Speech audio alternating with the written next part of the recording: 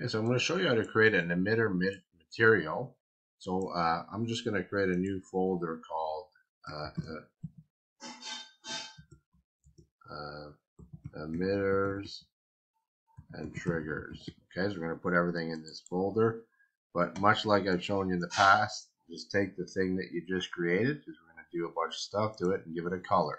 So give it a new color that's not like the other ones. That way you know it's your stuff. So I'm going to go in there. I'm going to right click. I'm going to make a material. I'm going to give this one blue. This one's going to be blue. And I'm going to double click on it. And now there there's the one constant, two constant, three constant. The one we want is the three constant. So the hotkey, it says it right here is three. So click three. And I want to click on this here and give it a color. So I said blue. Now just move this up and then you see there's the actual color because if you leave it the way it is it stays down there so click OK and you'll see that turns and now if I drag this into emitters it won't really do much. It'll be kind of a nice color but not really that great so alt click remove that. I'm going to add a multiply node. Okay whoops that's the wrong one and I want to click the M key and click. So that's a very commonly used node so we're going to go here and I'm going to go into emissive color. And you see here how we have one. Let's go and write like 12. Press enter. And so I just created an emitter material. So I can even go a little more than that. Maybe I want to go 22. Let's see what 22 looks like. So it'll when you add this to a material in your level, it will glow. And in fact, I'm going to show you which material I want to do and add it to. We're going to add it to a statue that we're going to use to trigger. So um, I'm going to create a blueprint right here in the emitters and triggers. And I'm going to call um, a blueprint class, call it an actor. And we're going to go uh, rename that. We want to make sure to rename it trigger good. Okay. So just double click on this and I'm going to actually go get a static mesh component. And so that's going to be my statue. You can rename it to statue if you want. Okay. And I'm going to go down here and just write statue. Now you probably have only one unless you added some kind of pack.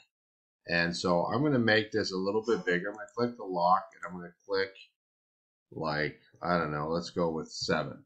Okay. See what happens. So it's, ooh, it's a little bit too big. So maybe four. Press enter and I want to see here where the material is. I'm going to make sure that in my third person I still have this selected. And then I'm going to go back to uh, my trigger and I'm going to make this material. So there you go. So I've created the trigger. Uh, but now what I want to do is I want to add some code to it. So this is the viewport. And over here under the event graph, this is where all the action happens. And what I'm going to do is on begin overlap. And if I go scroll all the way down here, and I'll see is when I overlap, well, actually, I have to add a trigger. So let's do that first. Um, actually, maybe it'll work anyways. Let's go on begin overlap. So whenever my character walks over the statue, um, I need to, well, I need to tell the, the uh, code that it is my third person character. So write third um, uh, on begin overlap. Give me a second here. So I want to type cast to third person character and it'll do this. I want to give myself like a super jump. So um, all right, set max jump count, and we're to go three, and it'll apply this to us, our character. And what we want to do is for the actor to be destroyed once we overlap this. Destroy. Whoops, I can't, can't speak here. I can't write. Destroy actor. Okay, so that's the first part. Let's compile and save this. This movement is not a character. Therefore, target must have a connection. Oh, so that's, see, I forgot that. So compile again. So now we're good. So now we need to go to our third person character. So under contents, under third person blueprint, go to blueprint and open this. Okay. And well, you're going to see I already did it, but I'm going to just hide this. Um, so what I need to do is in the same event, in the event graph for this third person, I have to uh, basically uh, add the code. So we're going to add a, a new, so on event movement mode changed, we want that in, whenever a new movement, we want to add um, equal to double check is that the one? And I want to no give me a second here. So I want to go equal enum and I want to go whenever I'm falling that it'll trigger this off. And here we want to just add a variable. Called get jump max count we're going to set an integer.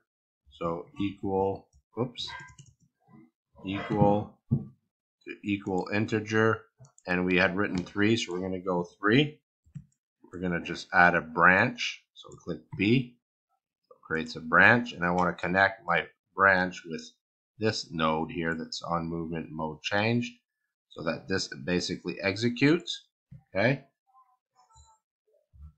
so we're actually going to add here whenever we're falling, we also need another branch. And we're actually going to go and put it in here instead. And we're going to hook that over here. And it so basically executes. So if we're falling, it'll see if we're in a double jump that's that's coming down, and if so, it will end it. And to set it to true, I'm going to set a delay and this is basically going to say how long I want my power up to last. So let's go with 10 seconds. You can make it a little longer, but not too much because it's supposed to be uh, fun. So let's compile and save this. So before I forget, I want to reset the jump count to 1 so without the power up. So set jump max count. So originally it was 1, so we need to have it back at 1.